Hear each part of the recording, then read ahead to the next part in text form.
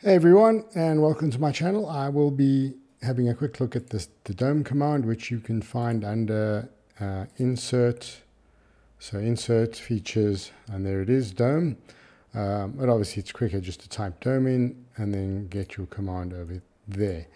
So the reason I'm looking at this is not just to show you how the dome command works but also to see if it's possible to create this feature which is a revolved solid swept cut um, with these ends in it, but that spans two surfaces, and I want to see if I can do the same thing using the dome command. So they've got that sketch prepared just to see if it's going to work. But before we do that, let me show you how the dome, the actual dome command works. So let's unsuppress this. And I've created a series of sketches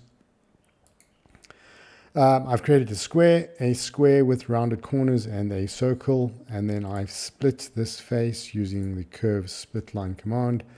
Um, so I've got separate faces. So dome is a um, solids command, it is not surfaces.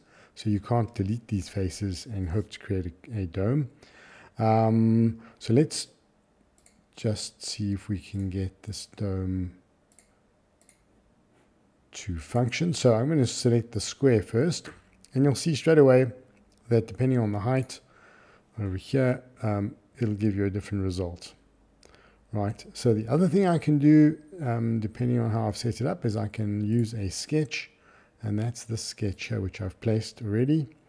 Uh, and I've, I've chosen a point on the sketch because I can now alter the height of that sketch So let's make that 2.3 or something arbitrary and see what happens. And you'll see that that's in that fashion, you can actually control the height of the dome as well.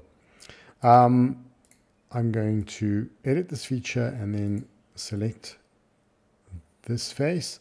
And what you'll notice is that you get a different set of um, opportunities at the bottom here. You get continuous dome, so at the moment it's at zero because um, it's defaulted to that. So if I select continuous dome, you're getting a sort of a tangent or a curvature continuous blend between the face that it's originating from and then onto the dome. But if you say non-continuous, then you get a sharp division. Um, and then you can uh, you can put in a fillet here if you want. 0.5 Okay, so just to show you how that works, so I'm going to suppress that one and let's go back into this feature and then select the circle because this is the one that it works best on. And you can see that at the bottom, instead of giving me a, a sort of a continuity option, we now have an ellip elliptical option, which is, um, if we just bump this up, you'll see that it keeps that shape as an ellip elliptical parabolic type shape. A parabola is probably the wrong word. Um, whereas if I remove it, you'll actually get, if you go too large, you'll get sort of a ball appearing on your surface. All right. So there we go. That's the dome command. Um, I'm going to suppress this for now and then just uh, go back to my original aim, which is to see if we can do the same thing as that using a dome instead. So there's my sketch. It spans two surfaces. Um, if I go to curves and I say split line, I should be able to select that item there. Make sure it doesn't does we don't go single direction because it'll only choose one of these faces, one or more faces. So we need some faces. There we go. Right, so here we go. We've got one, two faces. And if I go to the dome command and I select these two faces, um, hmm, at the moment it's not doing anything. Let's see what happens if I say OK. Inside.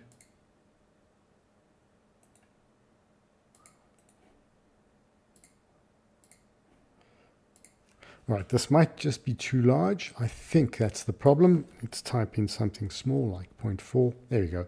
Okay, so that's going inside, as you can see, or I can make it come out.